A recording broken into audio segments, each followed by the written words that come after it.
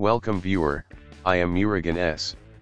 This video tutorial describes, fix can't find Bluetooth peripheral device driver. Click Start, type Device Manager in Windows search bar. Click Device Manager. Bluetooth peripheral device driver is not installed properly. Open any browser.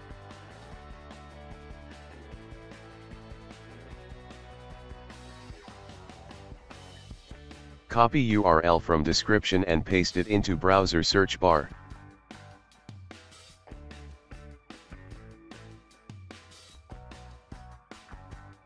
Click download.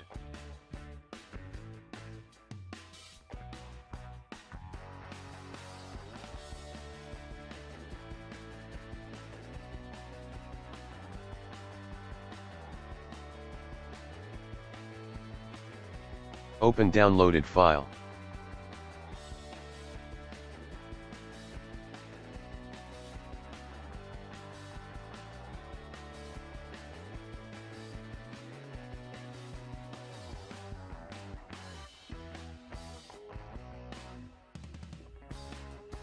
Restart your computer.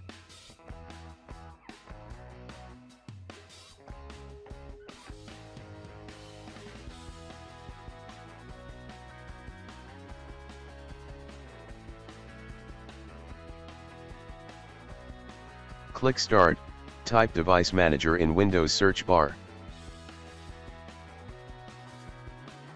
Click Device Manager.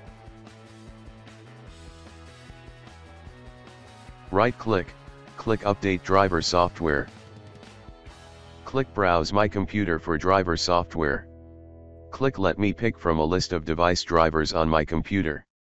Select Bluetooth radios, click Next. Select Microsoft Corporation. Select Windows mobile-based device support.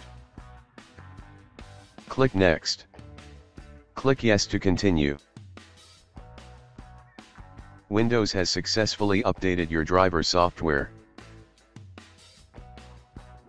I hope this video tutorial helps to you, please like, share and don't forget to subscribe my channel, thank you very much, see you next video.